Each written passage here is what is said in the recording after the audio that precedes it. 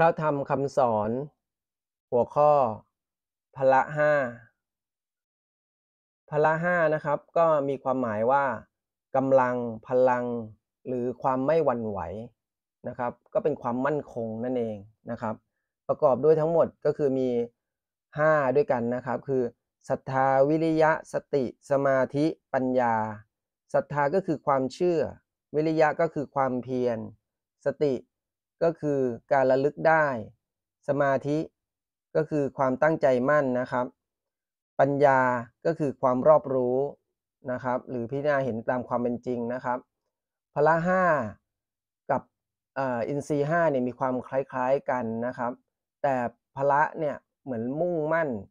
พลังกำลังที่จะประกอบให้สิ่งนั้นเกิดขึ้นมา แต่อินทรีย์เนี่ยเรียกว่าความเป็นใหญ่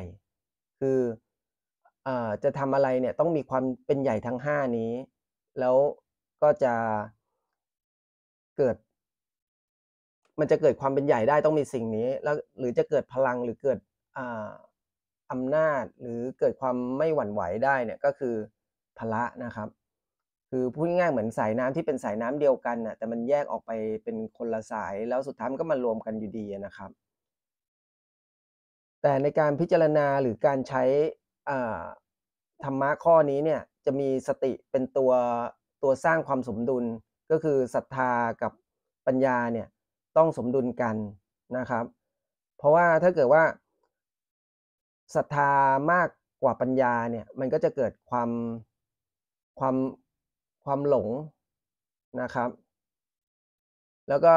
วิริยะกับสมาธิเนี่ยก็ต้องอสมดุลกัน เพราะถ้าเกิดว่า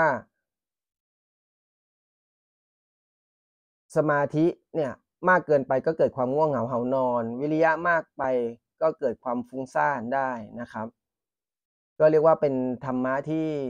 เหมือนเป็นตัวตัวสร้างความสมดุลนั่นเอง โดยใช้สติควบคุมเป็นตัวกลางนั่นเองนะครับครับ ก็จบพละห้าครับผม